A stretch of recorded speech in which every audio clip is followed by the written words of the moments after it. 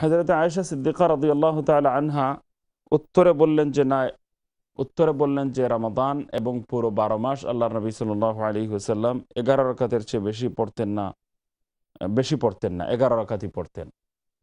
তো এর দ্বারাই এই হাদিস মানে দলিল পেশ করা হয় যে আট রাখাত তেরাবিহের ছিল আর তিন রাখাত উইথিরের নামাজ ছিল। তো এখন হজরত আয়েশা রদি আল্লাহ তালা আনহা বলছেন যে রমাদান বলেন আর রমাদান ছাড়া বারো মাস বাকি এগারো মাস বলেন, সব সময়কার মামুল, আমলের কথা আমি বলছি। হজরত আয়েশা রদি আল্লাহ তালা আনহাকে জিজ্ঞাসা করার পেছনে একটা মূল কারণ হলো গড়ের বেতরের অবস্থা আপনি আমাদেরকে জানাবেন। মসজিদে যে নামাজ পড়েছেন, সেই নামাজের ব্যাপারে হজরত আয়েশা সিদ্দিকা রদি আল্লাহ তালা আনহাকে জিজ্ঞাসা করার আদৌ তেমন কোনো প্রয়োজন নেই। আর হজরত আয়েশা সিদ্দিকা রদি আল্লাহ তালা আনহা এই কথাটাই বুঝেছেন, সকল মহাদ্দিসিন কেরাম ফকাহ কেরাম এই হাদিস সম্পর্কে এটাই বুঝেছেন যে হজরত আয়েশার কাছে তাহাজুদের নামাজ সম্পর্কে জিজ্ঞাসা করা হচ্ছে। কারণ তাহাজুদের নামাজ বারো মাস পড়া হয়। রমদানেও পড়া হয়, রমদানের বাইরেও পড়া হয়, বাকি বারো মাসের নামাজ।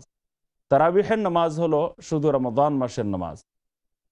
এই একই হাদিস দিয়ে বলা হয় যে না, বাকি বারো মাস এগারো মাস আল্লাহ নবী সাল্লাহ আলহি হুসাল্লাম যে আট রাকাত পড়তেন, এটা হলো তাহাজুদ ওইটা তখন আর তারাবি হয় না। ওইটা শুধু তাহাজুদ হয়। যারা আট রাকাত পড়তে চান বা আট রাকাতের জন্য এই হাদিস খানাকে দলিল হিসাবে পেশ করেন।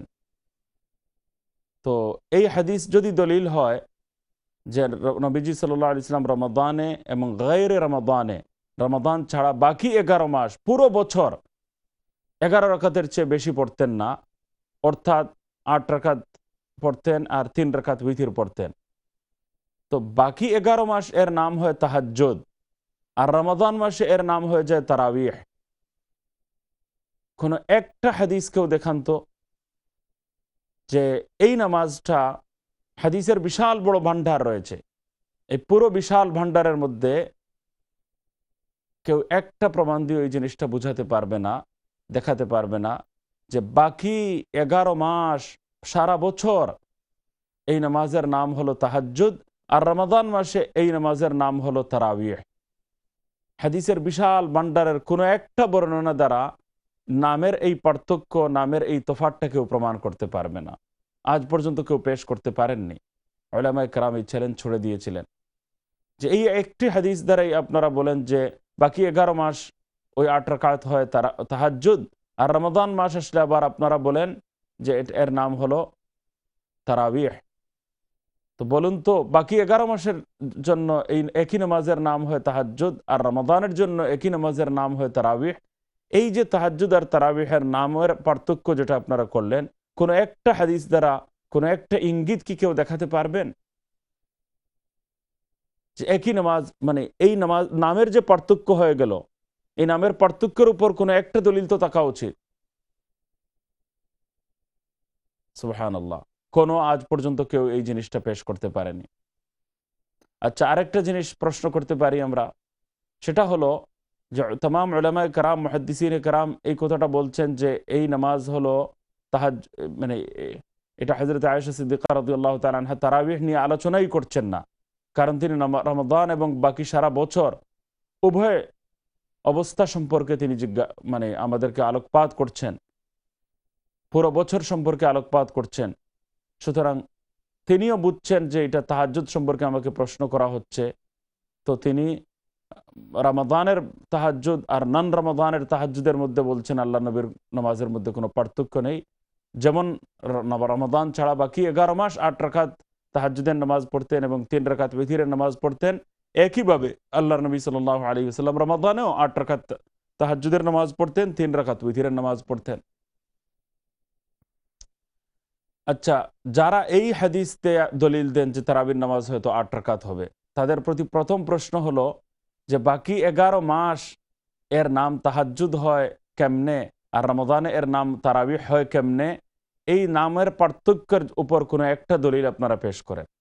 দ্বিতীয় আরেকটা প্রশ্ন করতে ইচ্ছে করে, সেই প্রশ্নটা হলো যে রমাদান মাসে এই আট রাকাত সম্পর্কে আপনারাও বলেন যে প্রথম রাতে এশার নামাজ পড়ার একেবারে আরম্ভর সময়, এশার নামাজ পড়ার সাথে সাথে এই আট রাকাত পড়া হবে। রাতের প্রারম্ভে রাতের প্রারম্ভে এশার নামাজ, এশার ফরজ পড়ার ইমিডিয়েট পরপরই তো তাহাজ তারাবিহার নামাজ শুরু করা হয়। তো রমাদানে এই আট রাকাতের উপর আমল আপনারা করেন, এশার নামাজের ইমিডিয়েট পরপর রাতের প্রারম্ভে। আর বাকি এগারো মাস এর উপর আমল হয় শেষ রাতে। তাহাজুদের নামাজ শেষ রাতেই পড়া উত্তম আল্লাহ নবী শেষ রাতে পড়তেন। এখন এই রামাদান মাসে হবে এটা রাতের শুরু ভাগে সূচনা লগ্নে রাতের শুরুতে এশার ফরজ পড়ার ইমিডিয়েট পর।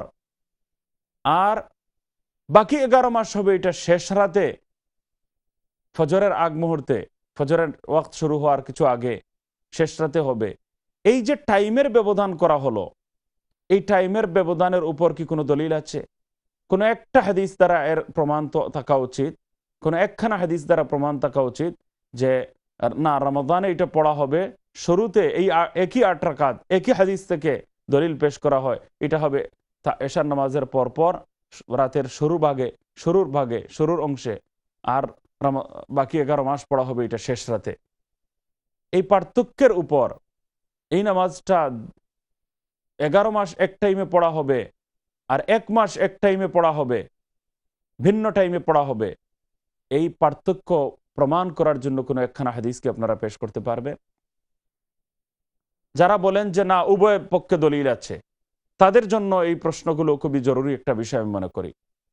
আরেকটা প্রশ্ন করতেও ইচ্ছে করে, সেটা হলো যে এক, একই হাদিস দ্বারা আট টাকাতের দলিল পেশ করা হয় তারাবিহের নামাজের জন্য। আর বলা হয় যে এটা বাকি এগারো মাস হলো এর নাম তাহাজ্জুদ, এটা ঘরে পড়া হবে আর এক এক মাস এটা মসজিদের মধ্যে পড়া হবে। তো আচ্ছা বলুন তো, বাকি এগারো মাস এটা একা পড়া হবে?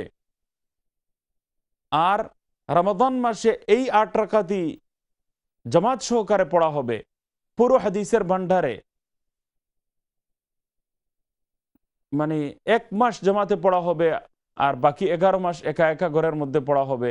এই পার্থক্যটা বোঝানোর জন্য কোনো একটা, একখানা বর্ণনা কি আছে? আরেকটা প্রশ্ন, সেটা হলো যে বাকি এগারো মাস ঘরে পড়া হবে আর এক, আর রমাদান মাসে মসজিদে পড়া হবে, তো মসজিদ আর ঘরের পার্থক্য, রাতের শুরু এবং শেষ ভাগের পার্থক্য। এরপর বাকি এগারো মাস এটা একা পড়া হবে আর রমাদান মাস এটা জমাত সহকারে পড়া হবে।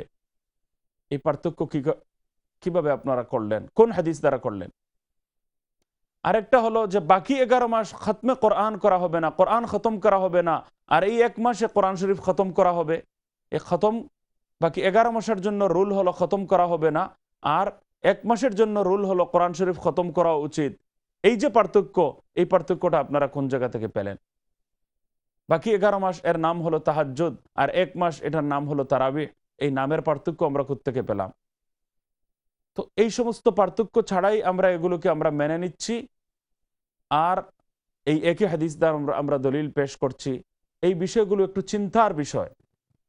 আল্লাহ তালা যেন বুঝার তো এই এই নামাজ যে শুধু তাহাজুদের জন্য না হলে, যদি বলেন যে না, এটাও তারাবিহের জন্য, আর বাকি এগারো মাসের জন্য তাহাজুদের জন্য, তাহলে এই প্রশ্নগুলোর উত্তরও দিতে হবে। না দিলে বিষয়ের সমাধান সুস্পষ্টভাবে আমাদের সামনে আসছে না। আর যদি কোনো সুস্পষ্ট উত্তর নাই, তাহলে মানতে হবে যে এটা তাহাজুদের জন্য আর তারাবিহের জন্য। সাহাবাহ কারাম যা বুঝেছেন সেটাই সত্য। তো আমরা একটা বিরতির দিকে যাচ্ছি, এরপর আরও কিছু আলোচনা আপনাদের সামনে পেশ করব। এরপর আপনাদের কলের দিকে আসব ইনশাআল্লাহ তালা আশা করি সাথেই থাকবেন। সালাম আলাইকুম রহমতুল্লাহ।